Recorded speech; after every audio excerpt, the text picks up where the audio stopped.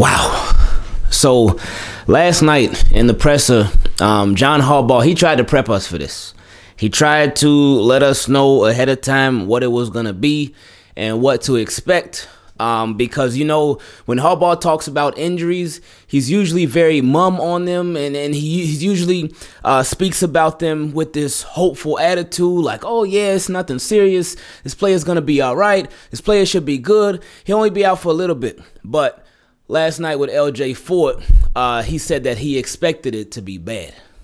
So this was something that, again, like I said, he tried to prep us for, um, and unfortunately they ended up being right because they said that LJ Fort completely tore his ACL, completely, and that's a uh, that's a big blow for the Ravens, huge blow for the Ravens. Uh, LJ Fort was somebody just to to go back when he first joined the Ravens, came on uh, in 2019. Uh, after I think he came on after the Ravens just got whooped by the Browns at the crib. Um, they signed this guy LJ Fort, and they signed Josh Bynes. And with LJ Fort, I was initially like, man, like who's LJ Fort? Because I didn't know anything about him, knew absolutely nothing about him. Uh, but my boy Carlo, shout out to my guy Carlo. He told me about him. He was like, "Man, this guy's smart. He he knows his stuff. He he been on been on been on a few teams in his career. I think he played with the Steelers, the Browns. Uh, he went to uh, the Eagles as well. Um, so this was a new home for him.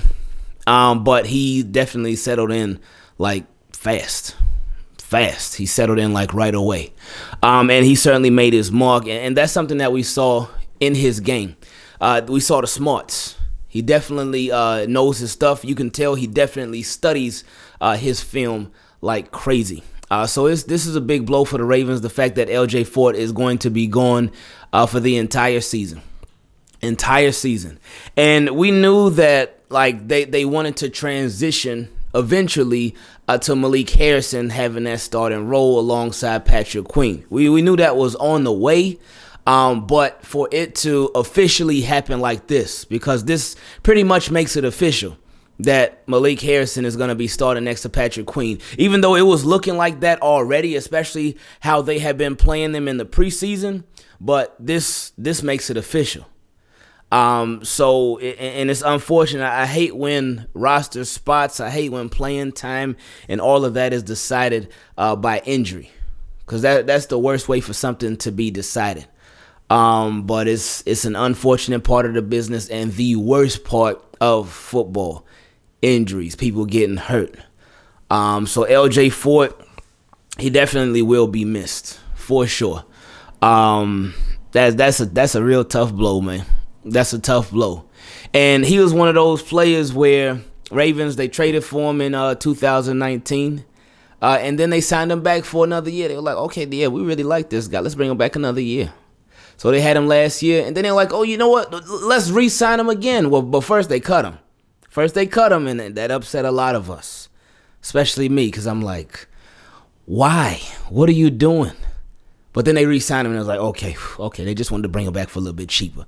They wanted to save a little bit of money. I was like, okay, all right, business move.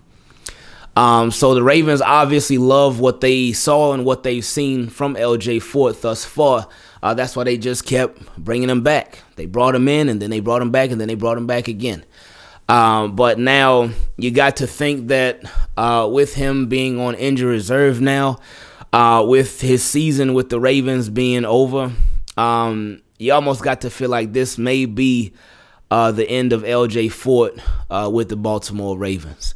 And the reason I say that, I definitely wouldn't want it to be. Um, but now they are they're forced to see what life is like without LJ Fort.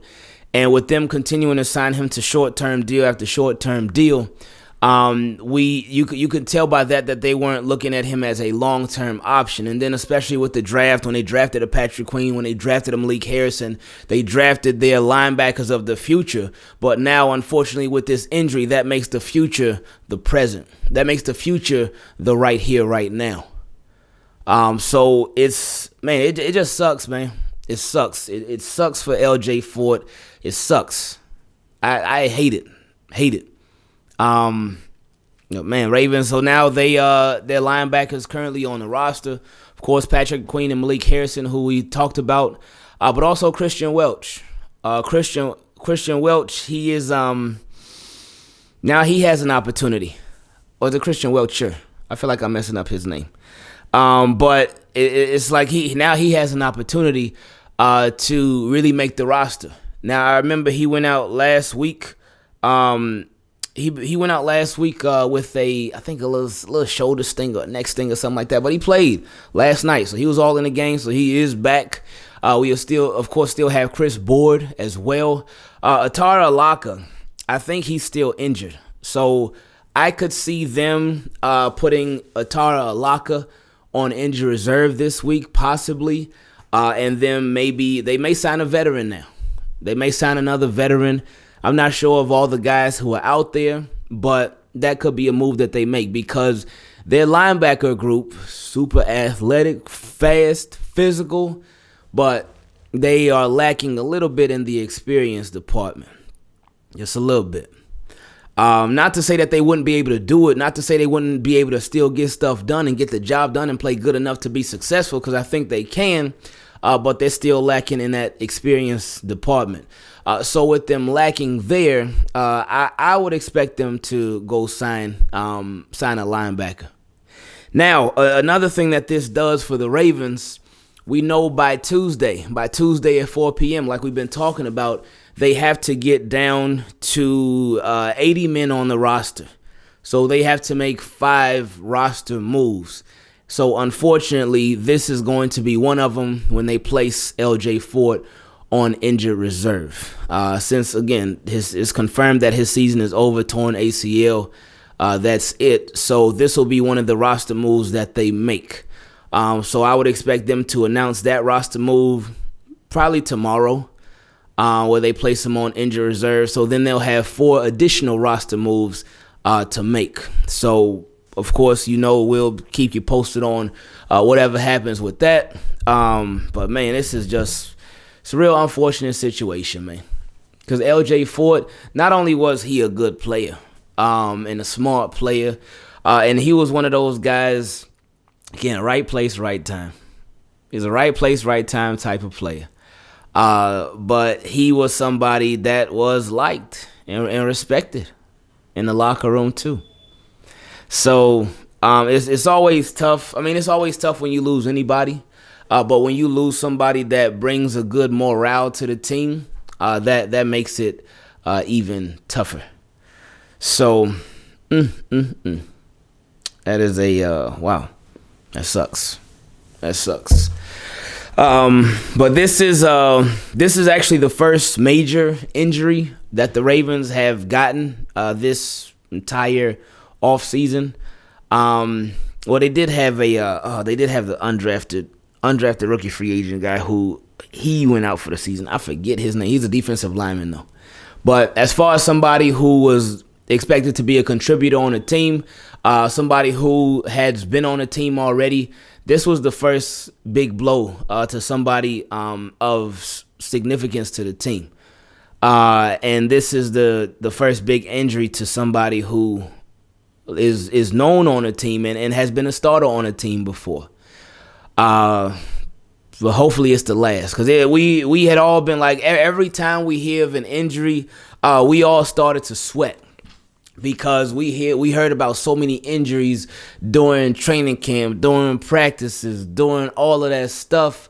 And we would just be like, oh boy, because again, Marlon Humphrey, uh, Hollywood Brown, Sammy Watkins, Brandon Stephens, Jimmy Smith, um, Rashod Bateman, of course, Miles Boykin, Deon Cain, Ben Cleveland, uh, Kevin Zeitler.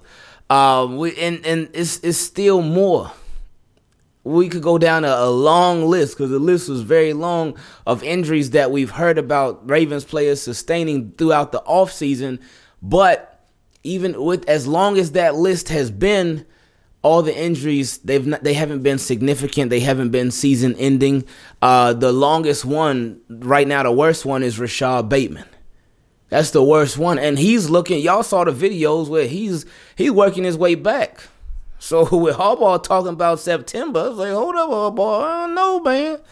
Could you be right with how he was looking in the video? I'm no doctor though, But I'm like, Harbaugh, hold on. You you said you said you expect him back in September. Now, if September had a 31st, then I'd be like, all right, Harbaugh, yeah, he'll be back in September for sure.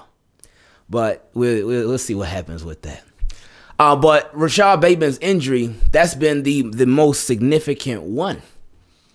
So we this, this now this takes the place of that, unfortunately, and this he's done for the year. So team, keep it clean. Appreciate y'all, man.